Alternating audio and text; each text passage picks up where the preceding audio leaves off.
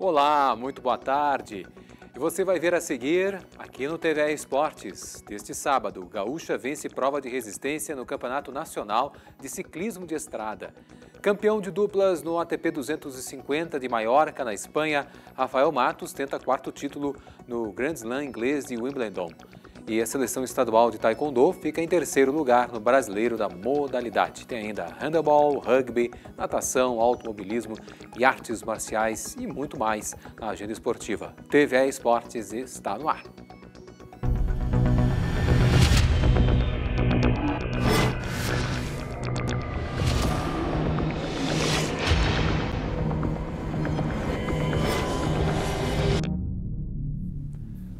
E a gente começa o TVE Esportes com a vitória gaúcha em prova de resistência do Brasileirão de Ciclismo de Estrada.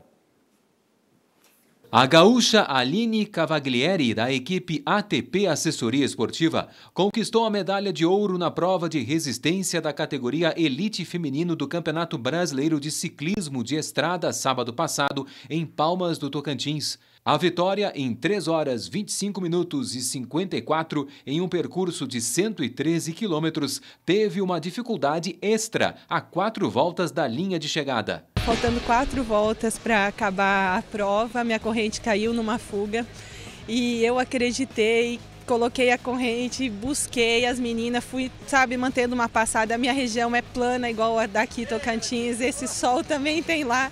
Então isso favoreceu muito, né? E na última subida eu coloquei minha passada de novo, as meninas acho que não acreditaram e eu fui abrindo, abrindo e aí faltando a última volta aqui eu coloquei tudo que eu tinha para poder chegar e deu certo e graças a Deus, nossa, estou muito feliz. Ana Vitória Magalhães foi a campeã na categoria sub-23 feminino. No masculino, disputado domingo, Vinícius Rangel ficou com o ouro nas categorias Elite e Júnior. A competição foi promovida pela Confederação Brasileira de Ciclismo e Federação Tocantinense de Ciclismo.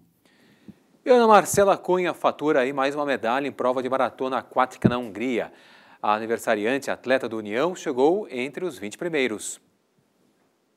Na madrugada de quarta-feira, em que completou 26 anos de idade, a nadadora gaúcha Viviane Jungblut chegou em 16º lugar na prova dos 10 mil, válida pelo Mundial de Esportes Aquáticos de Budapeste, na Hungria competição em que Ana Marcela Cunha disputou o ouro até os últimos metros, terminando com a medalha de bronze. A brasileira já havia vencido a maratona aquática dos 5 mil metros domingo passado no Lago Luna, quando Vivi chegou em sétimo lugar. A atleta do Grêmio Náutico União participou das finais dos 800 metros e dos 1.500 livre na piscina e também na equipe que nadou o revezamento 4 por 1.500 nas águas abertas. No masculino, o Brasil terminou na 21ª colocação com Bruce Hanson e na 22ª com Gabriel Arteiro.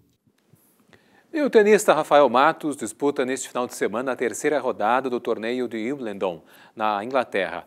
O tenista gaúcho estreou com vitória sobre os britânicos Jay Clark e Liam Brody na última quarta-feira. Rafael vem de conquista no ATP 250 de Maiorca, uma prova também em piso de grama disputada na Espanha. A dupla com o espanhol Davi Vega Hernandes derrotou na final o uruguaio Daniel Berrar e o equatoriano Gonçalo Escobar por 2 a 1, parciais de 7-6, 6-7 e 10-1, ao final de 2 horas e 21 minutos de jogo. O terceiro título do ano foi muito comemorado pelo Porto Alegrense de 26 anos. Estou bastante feliz com esse, com esse título aqui no ATP 250 em Maiorca. É, na verdade, eu não não estava esperando muito por esse por, por esse resultado. É, esse é meu segundo torneio na, na grama, primeiro esse ano, primeiro com o Davi e digamos que não é meu minha, meu piso favorito, mas bem feliz, é, principalmente pelo, pelo trabalho e adaptação que, que eu e o Franco fizemos no, nessas últimas duas semanas antes de vir para cá, treinando lá em Itajaí. É, eu, eu sou um cara que joga mais, mais de fundo e resolveu treinar bastante saque vôlei nessas duas semanas. E no torneio aqui acabei fazendo praticamente em todos os pontos, primeiro e segundo saque, sacando e subindo, então foi, foi um desafio extra e, bom, acabou dando, dando certo. Agora, seguir com essa energia que está muito boa, minha e do Davi, dentro e fora da quadra, essa conexão que a gente tem, que a gente sempre diz que é o, o, o ponto-chave assim, da nossa dupla, que faz bastante diferença, no, principalmente na, nas duplas mesmo, essa, essa boa parceria que se tem dentro e fora da quadra. E alguns dos melhores atletas da modalidade no estado participaram da terceira etapa do Super Tênis RS, encerrada esta semana em Caxias do Sul. Em jogo válido pela final da categoria primeira classe da terceira etapa do Super Tênis RS, o atleta Henry Luz, do Avenida Tênis Clube de Santa Maria, derrotou Thiago Guglieri, do Clube do Comércio de Porto Alegre, por 2 a 1, parciais de 6-3, 0-6 e 10-6. A final da categoria primeira classe fechou a terceira etapa do Super Tênis RS na última segunda-feira em Caxias do Sul. Promovida pela Associação Leopoldense de Esporte e Cultura, a etapa reuniu alguns dos melhores tenistas gaúchos de diversas categorias nas quadras do Recreio da Juventude e do Recreio Cruzeiro. O mau tempo do fim de semana reduziu de 16 para 7 o número de quadras disponíveis, suspendendo as disputas por duplas e a repescagem das categorias infanto-juvenis. A próxima etapa do Super Tênis RS está marcada para Pelotas, entre 19 e 21 de agosto. As inscrições já estão abertas no site fgtênis.com.br da Federação Gaúcha de Tênis. E o judô do Rio Grande do Sul faturou duas pratas e dois bronzes no Campeonato Brasileiro Sub-18 da modalidade, fim de semana passado em Vitória do Espírito Santo. O primeiro vice-campeonato foi conquistado no sábado por Kailane Bruno dos Santos na categoria até 52 quilos. A atleta do Grêmio Náutico União perdeu a final por imobilização para Letícia Mariano, do Mato Grosso do Sul, faltando pouco mais de um minuto para o final da luta. Na disputa do terceiro lugar, nos 48 quilos, Maria Antônia Argemi, também do União, superou Júlia Rodrigues, de São Paulo. No domingo, bronze também para Felipe Gabriel da Silva. Oriundo de um projeto social em Campo Bom, o atleta da judô Holstein, de Canoas, foi melhor do que o carioca Miguel Barbosa e garantiu uma vaga no pódio. Outro unionista, Vitor Fagundes, decidiu a medalha de ouro na categoria até 90 quilos com Gabriel Santos, do Rio de Janeiro, mas sofreu um ipom no final da luta e ficou com a prata. A seleção gaúcha aí participou em Santa Catarina do Supercampeonato Brasileiro de Taekwondo nas modalidades, eu vou ver se eu acerto, né? Kyoryugi e Posai, ou Ponsai. Bom, Vamos me corrigir daqui a pouquinho, né? Porque o Estado trouxe aí vários bons resultados em diversas categorias. Para falar um pouco sobre a competição e o atual estágio da modalidade do esporte aqui no Estado, a gente está recebendo nos estúdios o treinador equipe e da equipe, o mestre Alexander Prestes, além da Ana Carolina e Giovana, medalhistas. Bom dia para vocês, obrigado pela gentileza de terem. Só me corrija ali os nomes ali. Bom dia, bom dia a todos. Bom dia, Marcelo. Bom dia. Eu falei errado, com certeza. É, Kyorogi e Punse. É, tá Punse. certo. Então o acento é lá no final. Exatamente. Correto. Bom, primeiramente eu vou querer de ti falar fala um pouquinho da avaliação da equipe gaúcha nesse super campeonato, uh, a avaliação do campeonato, a avaliação da equipe, quantos atletas no total, conta um pouquinho mais para nós dessa história.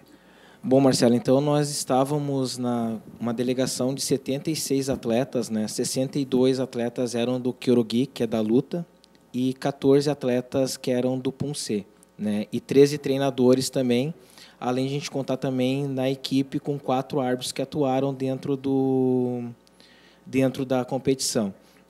Também tivemos também uh, ao todo no Kyorugi foram uh, nove medalhas de prata, né? E, e sete de bronze. Né? Então a gente não conseguiu trazer um ouro, mas a gente comparando com, com a competição do ano passado, o último campeonato brasileiro que foi final do ano passado em novembro em, no Rio de Janeiro nós trouxemos apenas tínhamos trazido apenas quatro medalhas depois do retorno da pandemia. E agora nós começamos esse trabalho durante um ano, esse, esse ano, com bastante atletas na categoria de base, enfim, e a gente já começou a colher alguns frutos, chegarem em algumas finais, que, que é uma competição muito difícil para a luta. Né? Então, praticamente todos os atletas tiveram que fazer duas ou três lutas para chegar até a final da competição. Muito bem. E, na, e na, no, no Punce, o Punce ele vem se destacando também. Nós, eh, no fim, um, um dos atletas não pôde vir, que é do Punce. Né? Nós tivemos um atleta, melhor atleta da competição de Punce, que é a Formas. Né? Uh, nós trouxemos cinco ouros, né? E, se não me engano, foram três pratas, agora não lembro a quantidade total de, de medalhas de prata. E, e ficamos ter, e o Rio Grande do Sul ficou em terceiro na classificação geral por equipe no Punce. Legal. Então, nossa evolução, está estamos trabalhando, né? A gente vem com a categoria de base, trouxe a Aninha aqui também para representar essa, essa categoria infantil, mais nove anos de idade. Nove anos. É. é pois é, eu vou falar a, a, Ana Carolina e a Giovana, né? A Aninha tem nove, a Aninha, né? Quantos anos, Aninha? Eu tenho nove anos. Nove? E a Giovana? Quinze. Bom, eu quero que fala, vocês comentem um pouquinho de maneira rapidamente assim, como é que o taekwondo entrou na vida de vocês? Como é que é essa história do taekwondo na vida de vocês? Pode começar. Eu fazia balé no começo, uhum. só que daí quando eu vi o taekwondo, eu adorei. Daí eu comecei a fazer. Só que daí eu larguei o balé para começar a fazer o taekwondo. Daí Sim. começou eu a mudar de faixa e fazer as Mas as duas se casaram praticamente, né? Balé, taekwondo, é, né? Tem um no, pouco No início eu fazia junto uhum. e daí depois eu parei com balé e fiz só o taekwondo. Só seis anos já. Uhum. Tá com nove. Tô. Olha, três aninhos. Então, como a gente comentou antes, antes de falar, praticamente já estava dando uns chutes, né? É. Exatamente. Tu, Giovana? Eu, por coincidência, também comecei no balé. Aí, depois de um tempo, parei. E com nove anos, minha tia me chamou para fazer uma aula sem pretensão nenhuma. E eu me apaixonei pelo esporte. Até hoje estou e pretendo continuar. Legal. Bom, as medalhas, só me explica mais ou menos, o pessoal, a gente tem as medalhas ali, explica para a gente essas medalhas, o que, que elas são, o quais, é, Ponce, ou, e até, esse, é a prata essa aí? As duas são de prata. São de prata. E como é que vocês avaliam, vocês que estavam no tatame, né? não sei se é tatame, é, seria... Dojan, tatame, Dojan. É. Bom, o, como é que vocês avaliam justamente nas modalidades de vocês, como é que vocês avaliaram o campeonato e até mesmo a performance de vocês no campeonato? Bom, eu acredito, ano passado no mesmo campeonato eu fui bronze e eu acredito que foi uma evolução muito grande. O resultado ele vai vir com o tempo, mas eu consegui ter uma evolução bem melhor esse ano. Uhum. Não sei a Ana, Primeiro campeonato? É. Primeiro Esse campeonato. foi meu primeiro campeonato e eu acabei ganhando prata. Bom, houve uma modificação de regra, né, professor? Bom, e, e isso, como é que foi essa adaptação de regra, dessa mudança de regras no taekwondo para vocês? Foi, foi, foi difícil? Como é que até mesmo o primeiro, primeiro campeonato também nesse sentido, né, de adaptação? Foi o primeiro campeonato na regra nova, mudou bastante a questão dos rounds e tal, a gente teve que se adaptar. Teve muitos erros, tanto por nossa parte, tanto da arbitragem, mas a gente está conseguindo se adaptar bem. Legal. E para ti, Ana? Eu fiquei um pouquinho com medo das faltas, por uhum. causa que como só podia cinco faltas, daí eu não sabia quanta, faltas que eu ia fazer. E daí eu acabei fazendo poucas e acabei perdendo por pouco. Legal. Bom, mas de qualquer forma, né, parabéns, parabéns para as duas. Bom, justamente, né, Alex, sobre essa retomada, está retomando e até regras novas, essa retomada é importante. 2021 teve o supercampeonato, mas houve também a retomada da própria modalidade aqui no estado, né? Isso, a gente teve uma retomada né, com a questão da pandemia. Então, muitas, muitos atletas ah, acabaram tendo que parar, enfim, por a questão das restrições que nós estávamos tendo. Alguns continuaram, enfim, conseguiram continuar, mas é como a gente disse, a gente está retomando novamente Isso. toda essa questão esportiva. Né, as, os, os, treinamentos estão, estão diferentes, tem a categoria de base, nós, nós levamos uh, cinco infantis né, da idade da, da um, praticamente a mesma idade da Aninha e os cinco chegaram nas finais e por exemplo chegar em finais em competição como essa é importante, é, né? é, e importante e muito difícil. E, né? e, vale salientar, né, rapidamente assim, a modalidade tem crescido no estado, até mesmo são categorias de base. Como é que tu tem percebido nesse sentido? Alex? Sim, nós estamos trabalhando, nós estamos crescendo muito, né? Então nós nós tivemos agora uh, atletas de várias regiões do estado, né? Várias cidades aqui, tanto região metropolitana quanto região norte, quanto região da Serra, né, região do Paranhana, enfim, vários, vários atletas ali que estão praticando, a gente está vendo esse crescimento. Na verdade, no mundo inteiro o taekwondo está crescendo, né? No Brasil, o Brasil hoje é uma das referências mundiais dentro do taekwondo, né? Está hum. tá se, tá se consolidando. Rio Grande do Sul também? E o Rio Grande do Sul a gente está conseguindo também ter essa evolução. É o que a gente está conseguindo desde esse momento como eu disse, no, no, campeonato do ano passado, no Super Brasileiro do ano passado, nós já fomos com menos atletas e menos medalhas. Né? Se nós tivemos mais atletas, mais medalhas, então a gente está retomando essa caminhada aí de novo, né? rumo, a, rumo às conquistas que a gente Pô, precisa. Legal, e a gente está aqui de olho, com certeza vai, futuras conversas, futuras medalhas, futuros atletas também a gente vai conversar e também visualizar aqui também na TVE. Olha, eu quero agradecer muito ao Alex, técnico também, e que seguiu, foi, foi um dos coordenadores da, da, da, da seleção gaúcha lá em, em, Santa Catarina, né, justamente, do Supercampeonato. Ana Carolina e Giovana, parabéns pelo trabalho de vocês. Obrigado, tá bom? E sejam bem-vindos também e portas abertas sempre, tá Muito bom? obrigado, Marcelo. Valeu, obrigado. Tchau, Muito tchau. obrigada pela oportunidade e o Taekwondo tem que evoluir, Com tem certeza. que se tornar mais visível. Show de bola. Aninha, tá bom? Ótimo. Sim. Tchau. Boas lutas aí, tá Obrigada. bom? Valeu. Maravilha, professor Marcelo Xavier conosco aqui. Bom, TV Esportes agora faz um breve intervalo, a gente volta com automobilismo, handebol e a agenda esportiva. Fica com a gente.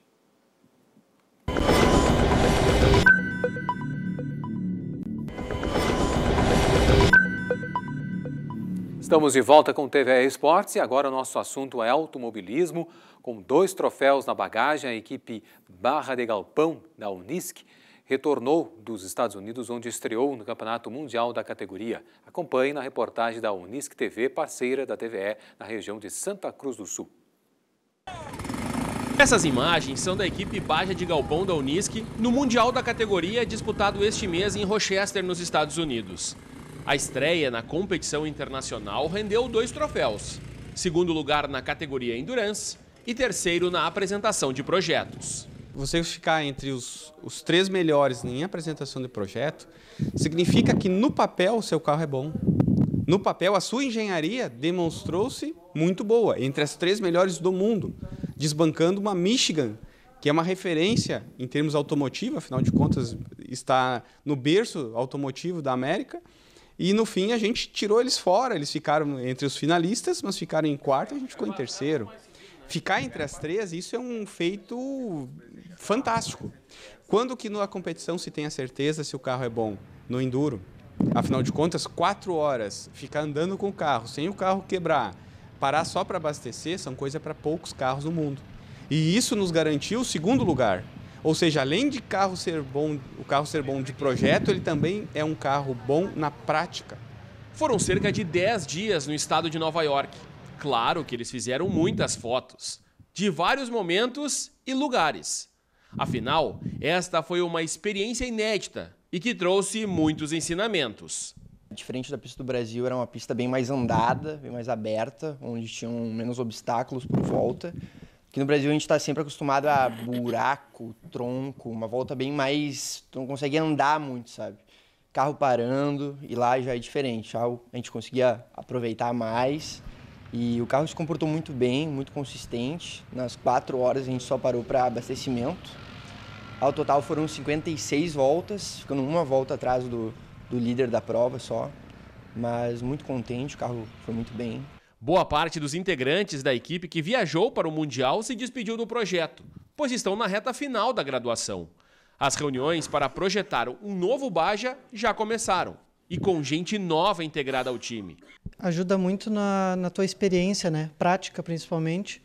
Tanto eu sou, agora vou ser projetista do Baja, né? E uh, mexer em softwares e criar um projeto em si é dá muita experiência no até para depois conseguir um emprego no currículo. A próxima competição de Baja será a etapa Sul, que vai ser disputada em Caxias do Sul no mês de novembro. Até lá, eles têm muito trabalho para deixar o carro pronto e também para manter a sequência de grandes resultados para o Baja de Galpão da Unisc. Muito bem. E o piloto saperanguense vence em Gravataí a primeira etapa do gauchão de rally regularidade. A Pajero TR4ER, guiada por Bruno Foscarini, chegou em primeiro lugar nas duas corridas que abriram o Campeonato Gaúcho de Rally 4x4, sábado em Gravataí, na região metropolitana de Porto Alegre. O piloto de Sapiranga lidera a categoria graduados, a principal da competição que inclui ainda as categorias Novato e Turismo. A largada na manhã de sábado reuniu 22 carros na pista de 10 quilômetros. O calendário do automobilismo 2022 prevê ainda mais duas provas do Gaúcho de Rally. A primeira em 20 de agosto na cidade de Jaquirana, na Serra Gaúcha, e a outra em Taquari, na região central, dia 10 de dezembro, junto à programação do Natal Açoriano.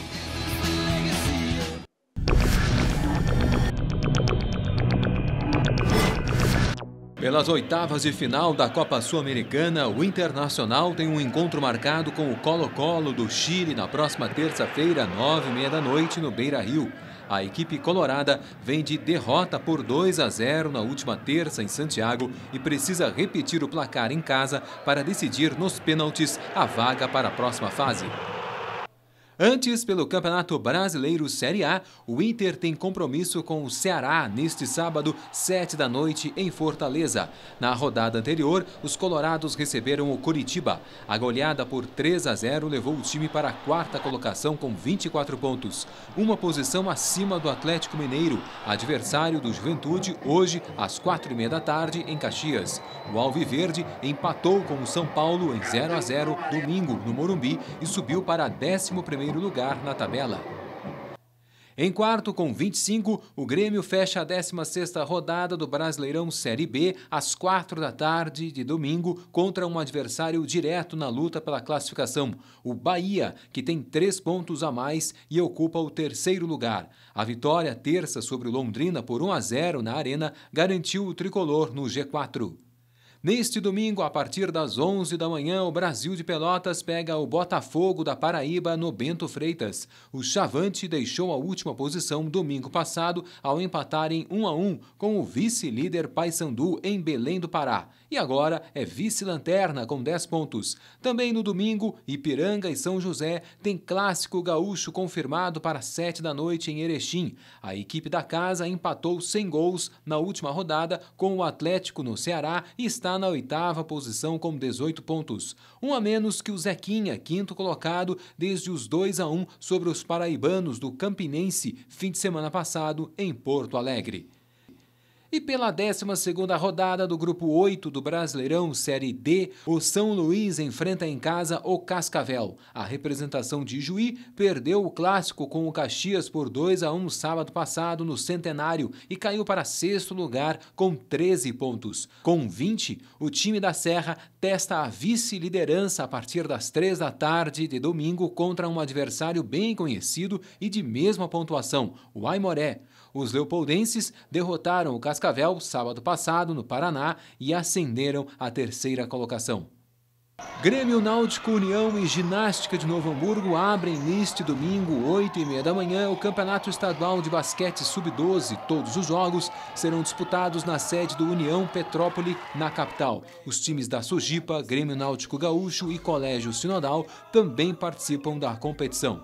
A cidade de Protásio Alves volta a sediar neste final de semana a Copa Pirelli de Velocross. A quinta etapa da competição acontece no Parque Municipal de Eventos, juntamente com a primeira etapa classificatória do Campeonato Gaúcho da modalidade. Os eventos vão reunir mais de 180 pilotos e máquinas para a disputa de 22 baterias ao longo do domingo a partir das 10h30 da manhã. As equipes gaúchas que disputam o Super 12, Campeonato Brasileiro de Rugby 15, voltam aos gramados neste sábado pela quarta rodada que fecha o primeiro turno do Grupo Sul. Daqui a pouco, a uma da tarde, o Charrua disputa com o Desterro, em Florianópolis, a terceira colocação na tabela. As duas equipes têm cinco pontos, mas o time de Porto Alegre tem vantagem nos critérios. O Charrua vem de derrota por 27 a 12 em casa para o Curitiba, líder do Super 12 com 15 pontos e um jogo a mais. Vice-líder com 14, o Farrapos entra em campo às duas e meia da tarde para encarar o Lanterna Pé Vermelho de Londrina, Paraná. Um empate no Estádio da Montanha, em Bento Gonçalves, pode conduzir o mandante à ponta da tabela de forma invicta. Na última rodada, o Farrapos aplicou 57 a 14 no Desterro, no gramado da Tapera, em Santa Catarina. Dois times de handebol do Recreio da Juventude de Caxias do Sul estão a caminho da Europa, onde participam de duas competições internacionais agora em julho. A primeira parada é Estocolmo, na Suécia, onde disputam até o próximo sábado o Partille Cup, o maior torneio de handebol amador do mundo.